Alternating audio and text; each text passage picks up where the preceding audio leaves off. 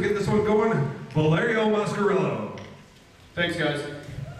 Sorry it's taking a little longer than usual. I've always wanted to get these things started at 6 o'clock. It never happens, but at least you guys are all here. I really, really, really appreciate it. Jay appreciates it. All the fans that came here from, man, overseas, Montreal, uh, Edmonton. You guys, you guys are amazing, man. Jay really, really appreciates it. Anyways, I want to get the guy out here. Let's get this thing started. And uh, I know you guys are waiting, anxious and stuff, so uh, let's get Jay out here. One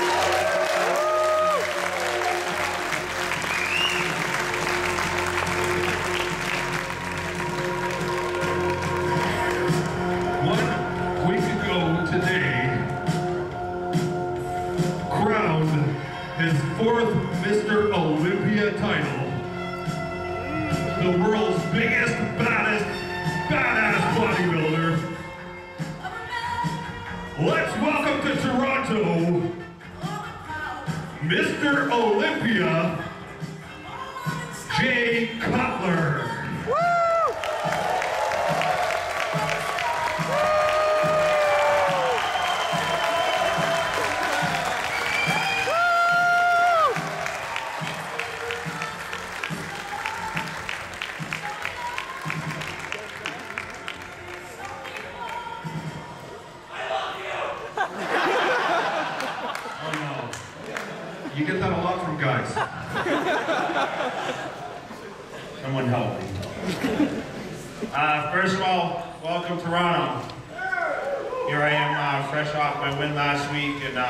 First stop, so I want to thank you guys all for coming out. And uh, sorry for the little wait here. I was uh, eating a little bit before I it. I just, I want to say uh, a few things just to start. Um, I want to thank first of all Valerio and his staff for, for putting on this event. And uh, he called me, I think my first week of dieting, and he said, you know, I'd love to get you back up here for an event. And my schedule was absolutely full already after Mr. Olympia. And I said, uh, I said, the only weekend I have is, is the first weekend. Usually I have that reserved for photo shoots. And uh, I said, but you know what? We had such a great feedback the time I came up here before, and uh, I wanted to see, you know, if this one could be bigger. And obviously, looking out here, it's it is. So I want to thank you.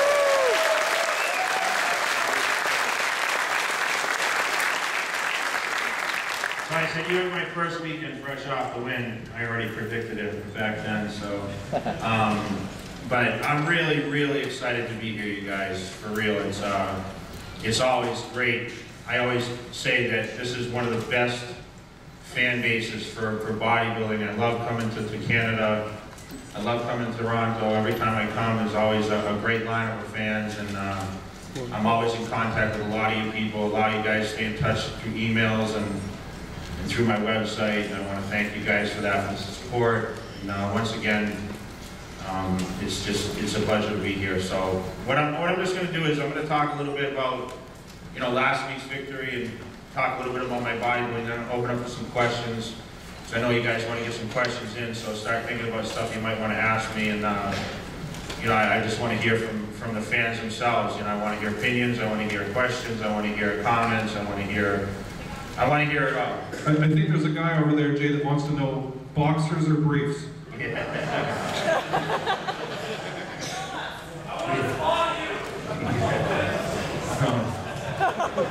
ugly. Welcome to Toronto. I I didn't want to blush yet. I didn't want to blush yet. It Makes me blush. I'm getting hot over here. Um, we, we always need a little comedy. I love it. You can spot me, man. It's all right. You just gotta pick this stuff up and it's sitting on it. That's Um, but last week's victory was, was huge for me now being four-time champion. It's, uh, it's absolutely amazing. Um, I had some troubles getting there. I was a little dehydrated on Friday and I pulled through and, you know, came together on Saturday night and was a little more enthusiastic about chasing the title. And fortunately was able to come out with a win and I had a big push by Phil Heath, who looked great. And uh, Branch Warren, of course, Dexter Jackson, all those guys were great. But leading up to the show, in preparation, I did have probably the best preparation I ever had training for a contest. you know, now being 37, I just turned 37 before the contest. It's uh, Happy birthday! yeah, thank you. I find myself starting to lie about, about my age. I'm like, I'm 36. You know? Everyone's like, no, you're 37 now. But um, I felt great, you know, and that's the amazing thing about bodybuilding. You know, I started training at 18 years old, and now training like 19 years, it's like I figured by this time my body would be tired, and you know, I wouldn't be as enthusiastic about you know training for competition. But it honestly was great preparation for me. You know, I felt good going into the contest. I felt very confident after last year's uh, victory. And uh, I just wanted to be better than ever and come back. And I, I wanted to win convincingly, which, I don't think I really did. Um, I think, you know, I didn't win by straight first all the way around. I think the second day I won by straight first, but thank you. Uh, but I didn't, I didn't accomplish what I wanted to. And sometimes even as a top professional world, your goals aren't necessarily met. So now sitting back after the contest and, and you know, kind of reviewing things a little bit, I haven't got to see a lot of the photos because I was so busy with photo shoots. I shot 12-hour days after the show and then literally got on a plane and came up here to do promotions for this event. And I'm sitting in front of you today, one week from the, from the victory Saturday night. Um, I'm going for number five next year.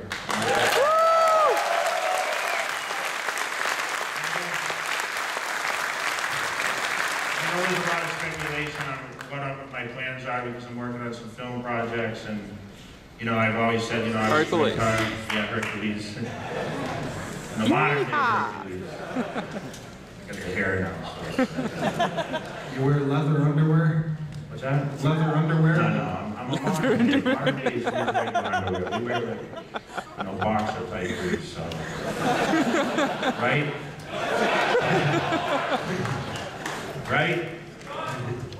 So, so now I'm hungry for number five, and I feel great about that because I wasn't sure actually going into number four how I would feel about five. And everyone kept saying, you know, you're going to go for record, you're going to go for six, seven. And I said, well, I got to get to four before I get to five. So now I'm at four, and five sounds pretty good. So I'm looking forward to, uh, you know, getting back in the gym. I actually had a pretty solid workout today for the first time I was able to train, and uh, you know, I'll get start easing my way back in. Definitely by the first year, I have a very hectic travel schedule, and you know, Mr. Olympia brings a lot of demands, um, things you never dreamed about. I've traveled to every every place in the world. I've seen every culture. I've met every person. I've met poor countries, uh, very rich countries. Um, I've met so many people that were my fans that became my friends, and I've had so much support. And this support shows. I mean, you guys came to see one guy, one guy, Jay Cutler, and you don't know what that makes me feel like. I really, I really don't think there's, there's anyone that's uh, competitive against me that appreciates the fans more than me. I try to reach out to all my fans, and I've had so many for so many years that, and new ones. Um, it's, it's just, this is why I do what I do. I mean, I just want to be the best at what I do, but be the best at what I do, but I want to have the fan following. I want to just, I want to make everyone happy. Um, I think about all you guys when I train for these competitions. I know everyone's going to be there at the Olympia cheering my name, and now sitting here in front of all you guys here, um, it, it's just, you never dreamed about this when you was a kid. I mean, I picked up a magazine at 12 years old, and I saw a picture of Chris Dickerson, who was Mr. Olympia back then, and I said, that's what I want to look like. And my brother said, well, that's crazy. I can't believe you want to look like that. The guy has muscles in his feet, you know? And uh, I actually, you know, read through the books when I was a teenager, and I was a football player in high school. I was a pretty muscular kid. I worked on my family farm, and I developed a physique that, that no one else had. I was always the strongest kid in high school. And uh, everyone used to go in the gym with me, in the high school gym, and say, come on, Jay, we just want to see a bench press. And I remember, you know, bench pressing 315 pounds when no one else could. And uh, that was like, I was like the spectacle of school when I was the only one that could do that. So um, I really didn't lift weights, so I just did you know, I just went in there and just bench pressed basically, but I actually joined the gym my 18th birthday with the, with the journey to be a bodybuilder. I wanted to become a competitive bodybuilder, and I competed six months after that, joining the gym at 18, and I got second in my first competition. I was hooked from there, and you know, I became a teenage national champion at 19 and earned professional status on my third competition, um, the nationals in the United States at 23, and slowly worked my way up. And of course, you know, won three Arnold Classics. I was second at the Olympia five times. We are at 18. Now winning four Miss Olympia titles and numerous other titles. It's it's only something you really dream about. And what I really try to spread the word of is, you know, in the beginning I set realistic goals, but what I realized is, along with all those goals, there were going to be obstacles that you overcome, and there were a lot of setbacks as well as positives. So we have to learn how to deal with those things, and having a great support system around you is something that is necessary. I had to stay very, very grounded. When I was 21 years old, when most people turn the legal drinking age, everyone wants to party. I never did any of that stuff. I always was in the house training, eating my six or seven meals a day, and staying really focused on what the future would be, because I hope that eventually I would be doing what I wanted to do and make a living at professional bodybuilding, traveling, and being, you know, one of the best elite bodybuilders. And of course, the dreams came true. And I give it all to that sacrifice that I gave early on. I was very, very uh, grounded and, and very, very focused and determined. I had the aspirations to be the best someday, and, and why everyone said to me, and, and this was every single time I won a show, someone told me that I couldn't go to the next step. And there's always that negativity around you, and that's something with bodybuilding that you're gonna get all the time. And my family really didn't understand what what I did. I come from a large family. I'm the youngest of seven children. I have three brothers, three sisters, and I am the biggest of that. and they had no clue what I was doing. My dad, my dad's 81 right now, and he still doesn't understand it. He's just like, you know, you're crazy. You know, it's, it's uh, he sees what I go through, and they don't understand how I can stay on that kind of diet. You know, I eat you know, five, six pounds of meat or fish a day, and I eat you know seven to ten meals a day. And it's just total, total discipline still, and they are supportive at this point where they come to the shows and support it, but they still have no clue. My dad doesn't know what a protein or a carbohydrate is, and he back.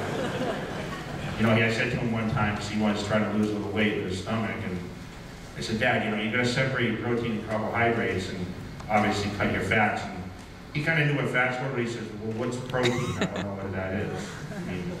And it's very difficult. We all laugh about that because we're all um, somewhat involved in this, but a lot of people don't know. They don't know how to eat, and I really give, you know, 80% of what I do to my diet, to the nutrition, the consistency. And a lot of people look at me and they say, well, how can I get as big as you? Well, I've been training for 19 years, but the consistency of year in, year out of that diet, I never fell off a diet. That's one thing I never did is, is even when I wasn't training, because I took time off from after weight training, I still stayed on a specific diet. I never ventured out and ate crazy foods.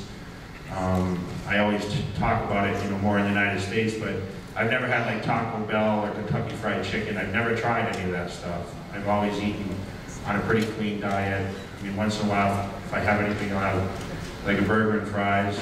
There's this place called In-N-Out Burger that's in Las Vegas. Any guys been to In-N-Out Burger? It's, it's pretty, pretty good. I had it after the show this year, let's put it that way.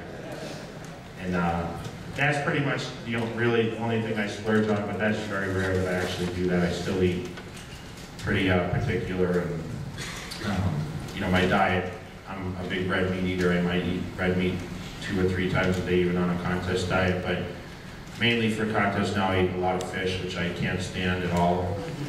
So I eat one pound of fish every single meal, um, of tilapia, and I cook it outside on the foreman grill because it stinks so bad.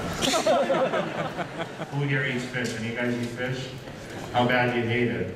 I love it. I love it. I should, you should have my job. right? I guess you get the neighbor loving you, I guess. So, so a lot of times when I eat my fish, it's like this, you guys. Yeah, really. I have to hold my nose. I just wish for it to be gone. So really, I only eat for, for, uh, for function. I don't eat really for taste, because if I eat for taste, I'd eat McDonald's or Burger King every meal pretty much. Um, but for me, I mean, I just do what I have to do, and that's the difference between me and a lot of the other guys, is I'll always do the sacrifices it takes, and, you know, I died for 14 weeks for the competition, this year's Olympia, you know, I, I did my cardio twice a day, stair mill at home usually, um, for 40 minutes each time, and then I ate seven meals a day. And the different thing about me with a lot of guys is, I only sleep in short sleeping patterns. So for me, I get up at eight in the morning. I usually do my cardio session and then I, I eat about three meals and I train at about five in the afternoon. Um, then I eat, come home and eat like three more meals. And I do my last cardio session at two or three in the morning. And by, I go to bed about four and then I'm up again. My longest sleep pattern is four hours. And a lot of people say, well, how can that be? But it seems like my body's just adjusted to that routine. And I really actually like doing the cardio in the middle of the night. And fortunately for me, I have uh, all my cardiovascular at home, through a treadmill bike, elliptical stair mill. So I do the stairs at home in my garage, living in Las Vegas. It's about 140 degrees in my garage, so I just walk out there and I'm already soaking wet with sweat, so it's easy to get into shape pretty quick. And uh, I do my cardio there. And uh, off season, like right now, I'll start doing actually and um, I do my cardio there. And uh, off season, like right now, I'll start doing actually, I'll stay with that cardio routine because my goal now is to actually not like some bodybuilders get bigger. I'll actually try to slim down now and drop my weight to about 270 pounds. I competed about 263 at the Mr. Olympia. I weigh about 280 today. And I'm gonna actually start cutting my weight down um, and lean out until I start full-on training in January. So how I'll do that is I'll just stay with more cardiovascular. My workouts will just be quick pump-up workouts, just enough to maintain muscle so I can continue with my guest posings. But I'll keep a pretty clean diet and I'll probably start cutting the calories down. Whereas most days I eat, you know, between five to 7,000 calories a day. I'll keep it down in the 5,000 range. Five And that's even on a contest, calories I a eat a lot of calories, get ready for the show. Um, I eat about between 500 and 600 grams of protein a day, and then I have somewhere between 400 to 500 carbohydrates a day. So my low day on carbohydrates on a contest diet is 400 carbs a day to maintain my weight, because I, I weighed about, about two, I weighed about 275 to 278 before the last week when I cut my water. So for me to be pretty much in contest shape, I, I'm just under 280 pounds before I deplete my water, and I lose about 12, 12 to 15 pounds of water in the last three or four days. And I think that's this year where something went a little backwards because I got very dehydrated on Friday. And a lot of you guys may have read online. Um, I got to the point where I was almost so fatigued that I almost couldn't make it through the prejudging. And I couldn't understand why. It's the only time that's ever happened to me. So when I got off stage on Friday night, I could barely move. I barely had the energy to get to my car. When I got home, I laid down and I had to drink and drink and drink, which, you know, everyone knows when you're in a contest mode and trying to peak for a competition, you can't necessarily drink. But I had to, um, in fear of that my body was going to shut out and you know, I was in heavy dehydration, so I wanted to avoid that, and I drank, and then when I woke up Saturday morning with the two-day competition, I was pretty watered out, so I had to do everything I could to rid myself of the water on Saturday, which included, I was working out, I was actually working out in the gym. You, who watched the, the show online? You guys watching that? So when did it start, seven o'clock? Well, what time did it start here? 10 o'clock. 10 o'clock, so that's 7 West Coast time. I was in the gym working out at 6 o'clock uh, before that night show on Saturday night. I was actually working out.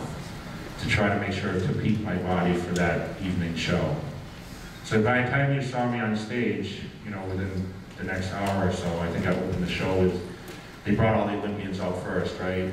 All the former Olympians. At the start of the contest. So I had just got done working out and rushing over to the show and peaking my body for that night show. It worked perfectly because, you know, by Saturday I was a lot better than Friday and I was uh, a little fuller and, and actually, uh, you know, pretty on point enough to win with straight first and Saturday night. So, you know, you pretty much do what it has, you have to do and, you know, I never planned on doing that, but that's, that's what I was up against. So to give you guys a little insight, you know, I mean, it's pretty amazing. I never planned on working out, you know, before the show that, that, that late. And uh, I was able to come through with the win, so I was ecstatic. And, um, know, like I said, I'm just looking forward to next year doing battle a little bit. So, who has a question for me? Open it up, questions, guys, if you got a question, we'll bring the mic over to you, you can stand up. You, sir? Congratulations. Uh, quick question, when uh, you and Phil were on stage, the final two, what were you saying to each other. Exactly. and one question after, uh, uh, what your website there, the virtual training, what's that going to be like? Um, so, a lot of, a lot of you guys know the history with Phil Heath and I. I, I found Phil Heath at a local bodybuilding show in Colorado. I was guest posing. I saw this guy back there with these crazy arms back in, this was 2005. Uh, was it four five? I think 2005 I found Phil Heath at a show and I walked over to him and I said, uh, I said, you know, what, what are you doing? Are you competing? He said, well, I was thinking about doing the junior nationals and, and the and the USA, which is two shows in, in the United States, and the USA you actually earn, professional status. And I said, well, you could win those shows very easily right now. He says, do you think so? I said, absolutely. So I said, you know, what's the problem? He said, well, I have no money. I can't, I can't uh, pay to, to travel and do all that for the show. So I said, all right, listen, give me your number. I'll, uh, I'm going to talk to some people and see what I can do for you. This was on a Saturday show. By Monday, I had him a Weider contract already. They, I, I sent pictures of Phil Heath over to Peter McGough at Publications, and they signed him to a contract right there, and that was the beginning of Phil Heath. And we became the best of friends after that. We spoke often, and he came out and trained with me. I punished him several, several times, which I still do. He still can't train. And our dream was to be able to stand one, two at the Mr. Olympia someday. And I wasn't sure if I was gonna be able to hang on to wait for him till he got there. But I waited and he brought it because he's an unbelievable bodybuilder now. He is the next dominant champion. I'm absolutely sure of it. He's just, he's just so focused, determined. He has the mental capacity now to be the number one bodybuilder in the world. And this kid's gonna push everyone, including myself, if I come back next year, to be Mr. Olympia. So we were actually having a conversation on stage, um, saying, you know, do you remember when we talked about this, you know, us being one, two, and, and, uh, you know, we never thought it'd be possible, and here we are standing here, and I said, you know, no matter how this goes down, you know, you know I love you like a brother, and it's not gonna change anything, win or lose, and our friendship's always gonna be the best, I'm always gonna support it. When I retire from bodybuilding, I will specifically go to Mr. Lippy to watch Phil Heath, because he's that close to me. You know, I love the guy. So, um, we were reminiscing, and, um, a lot of nervousness between the two of us, but I was pretty sure that I won, so.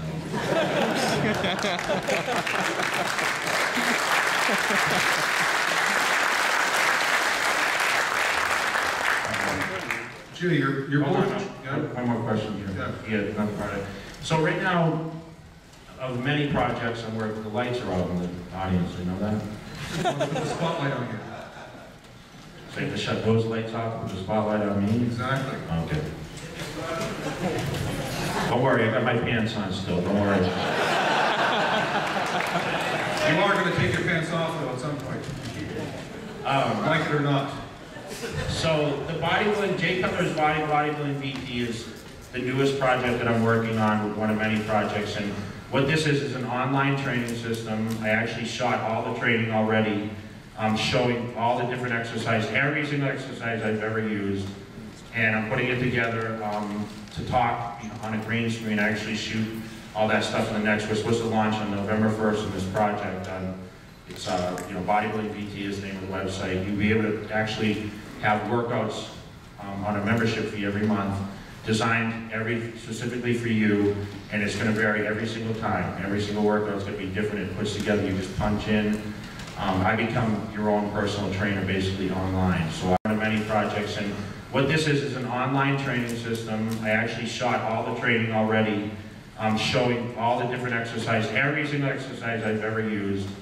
And I'm putting it together um, to talk on a green screen, I actually shoot all that stuff in the next. We're supposed to launch on November 1st in this project. Um, it's, uh, you know, Bodybuilding VT is the name of the website. You'll be able to actually have workouts on a membership fee every month, designed every, specifically for you, and it's gonna vary every single time. Every single workout is gonna be different, it puts together, you just punch in.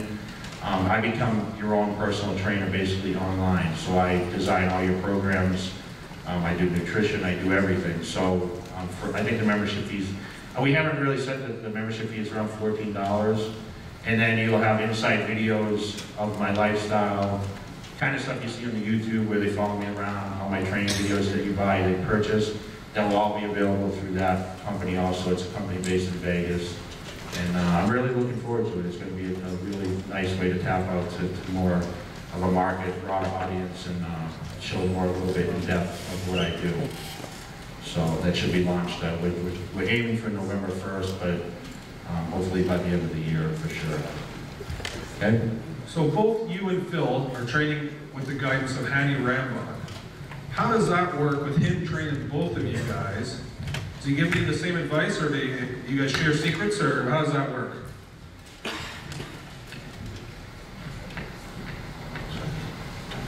Um, yeah, we, we work under the same uh, nutritionist, uh, Hany Rambod, and we don't share secrets, um, but there is no really. I mean, Phil has his way, I have mine.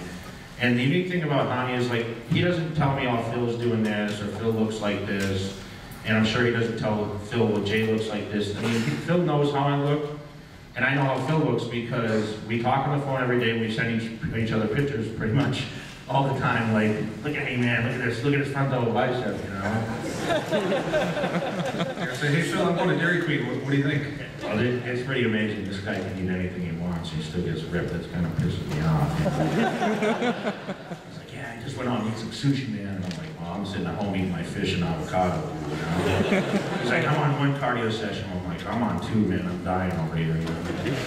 So, he's, uh, you know, we just correspond back and forth, and, you know, I, I'm not, it's all who works the hardest and who has the best genetics, and, I mean, I still feel like because of my muscle maturity, you know, he's 30, I'm 37. Um, I always felt, you know, I had an edge because my muscle was a lot denser and my width. And, you know, it's, it's really subjective on how they really judge. And a lot of people think Phil he should have won. People think Dexter Jackson should have won, uh, Branch Warren. But I know my strength is being my width and my size, um, my conditioning when I'm on point, and I know that I can't be beaten with the line of competitors that I have against. I really feel that way. I mean, I, I just feel that when I'm at my best, I, I can pretty much, um, you know, walk through that contest. So I was abs- absolutely sure going into the show that I was at favorite to win, even though there was a lot of controversy of it being a Weider contest and now it's signed with development. You heard all the theories, and know, I, anytime I ever win, you guys see, I mean, I'm the most doubted bodybuilder out there. It's, it's unbelievable. I get disrespected all the time. Everyone wonders if I have enough focus. Um, they just think I'm up, I'm just like hanging out. I don't know what they think. Like, it's just like I'm not doing anything, but I'm at home training. And I'm just doing my thing and kind of laughing at this stuff and, you know, now, as I go, yeah. What'd you say? Jealous. Exactly. It's, uh, as I train for number five, you guys watch the negative comments by all the jealous people saying, well, Jay's not gonna be able to do it, he doesn't have this anymore, doesn't have that. But when I wind up in 2011 and I'm standing there on stage and you guys are there or you're watching the, the webcast and it comes down to me and whoever, because it's always me and whoever, I mean, it's always been the past 10 years, me and whoever in the top two. So I'm really not uh, concerned about what people think or what, you know, I'm just concerned about the positive things. And you guys are my positive things. You guys are here to see me.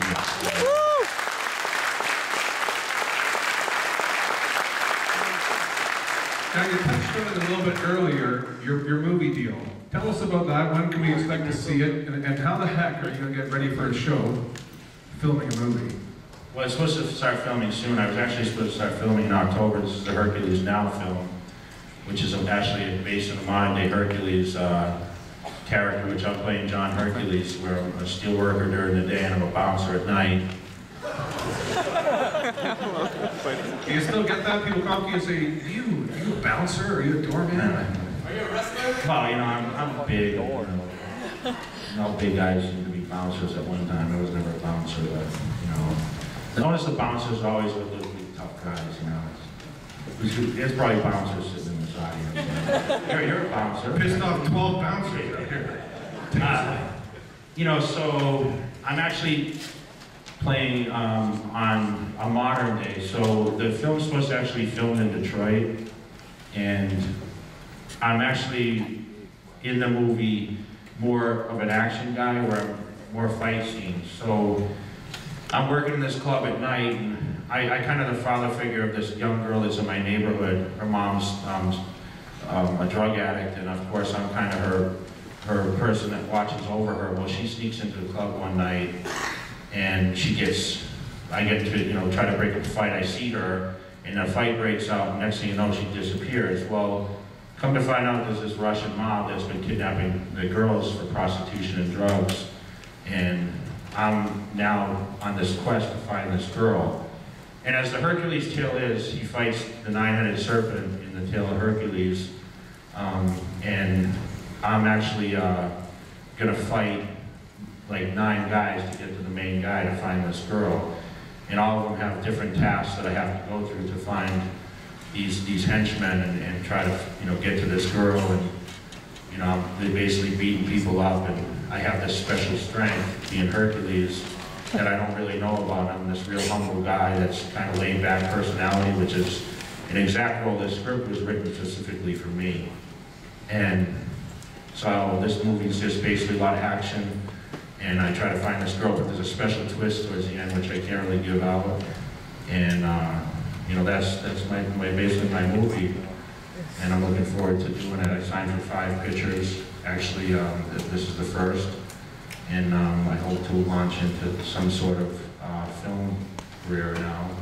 But as far as training, this is supposed to take somewhat soon, so of course it's not gonna cut into Mr. Olympia. We was actually supposed to shoot in April, but it actually got set back, which was fortunate for me, because I would have had to finish and then go right into my Olympia preparation.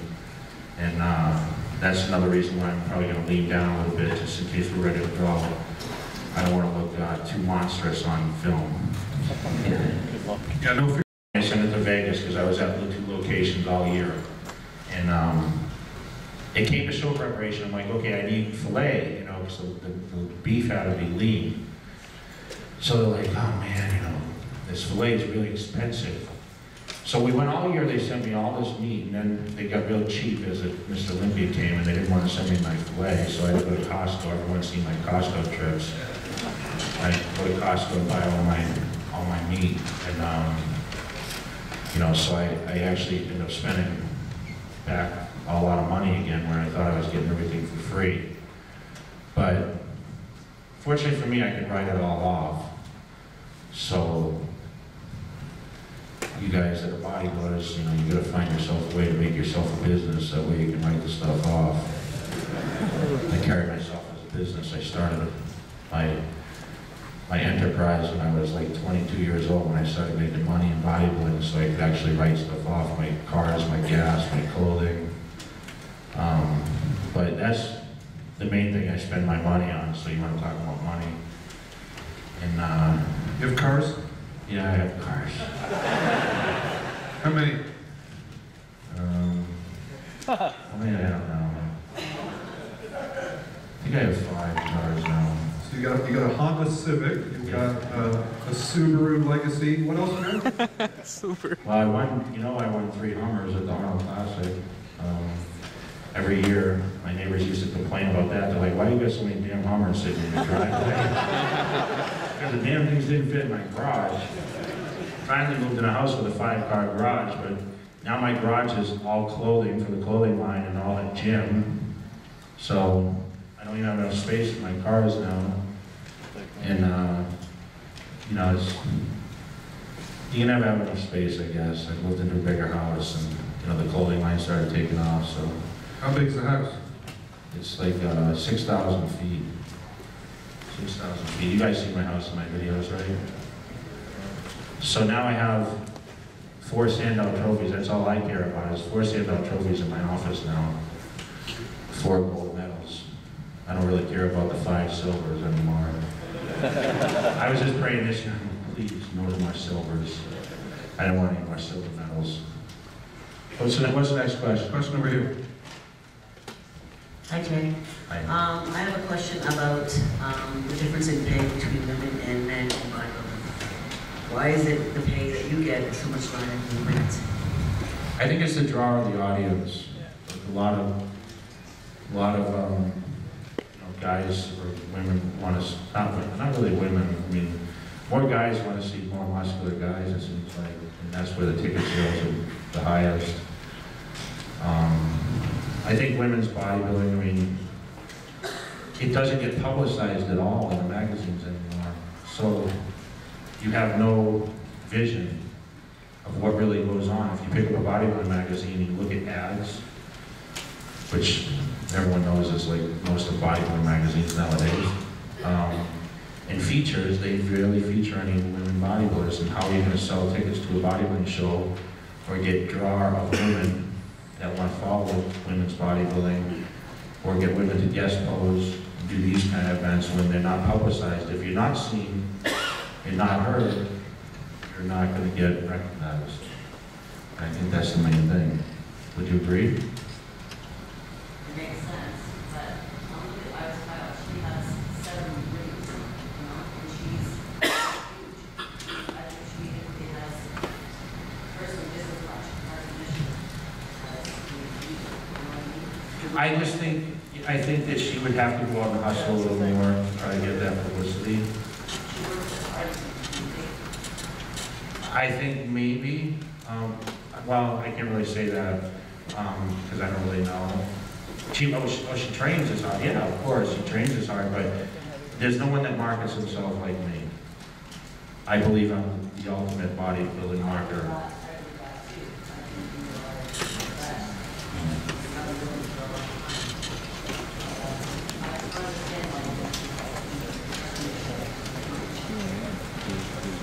It's hard to say, I mean, I just think it's because the magazines won't cover it. That's comes, that's comes down, if you didn't see Jay Cutler in every single magazine, you know, would he be as popular? I'm signed with the, with the most publicized supplement company in the world. Um, that's half the reason why I'm so recognizable. People say Jay Cutler MuscleTech. You know, I've been one of the fortunate athletes. Um, I'm blessed every day. And, um, you know, I, I just, I, like I said, I would just, uh, I would say it's because of that. Let's get a few more questions for Jay going. We're gonna have a little intermission coming up as well. Music? Go back to her uh, question over there. I've, I've worked at magazines for 10 years, and it's not really, it's basically the fan base. That's what it's all about, is uh, women's bodybuilding would be bigger if it was a bigger fan base. And with a bigger fan base, they get paid more money. Thank you, sir. Any questions back here? Just stand up, sir, just holler. Jay, once again, congratulations. Thank you so much.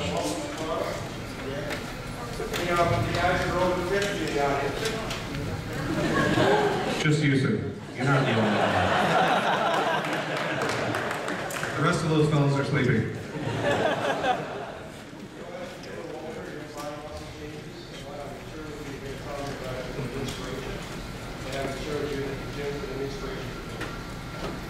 So, working hard, you know, what recommendations would you make as you get older from a diet perspective? And I'm not trying to be this for Olympia, I'm just trying to make sure that they can shit out my wife for shit. I think you look great. Take your shirt off in the dark. That's great advice from Mr. Olympia. Big company. I'm kidding. Tanning helps though, you know. Um, specifically, your diet has to be frequent. Now, you have to eat every two and a half to three hours. It's very, very important. And the reason for that is your metabolism has to stay active. And we tend to fall into these, these pitfalls where you don't eat, you know, enough. And people say, well, I'm afraid to eat too much because I'll get overweight. But if you eat properly, you know, there's a certain amount of proteins, carbohydrates, everyone's body's gonna be different. I need carbohydrates every meal, at least six meals. On a diet, I eat six meals of carbohydrates, one of just straight protein, my last meal. So, you need, most importantly, carbohydrates and protein combination for breakfast before and after your training. So that's three times, three meals a day, you need carbohydrate protein combo. You could probably get away with straight protein on the other two or three meals. Now you have to look at the fact that, okay, you rise at what time in the morning, you go to bed at what time at night. That's gonna determine your meal scheduling. You should be eating every two and a half to three hours from the time you get up to the time you go to bed. So if that's six meals, if that's eight meals, if it's five meals, whatever it is, it's the frequency of the meals that's gonna keep your body in check, and obviously what kind of foods you eat. Now, I would suggest at your age, just for health reasons, obviously, red meat maximum once a day,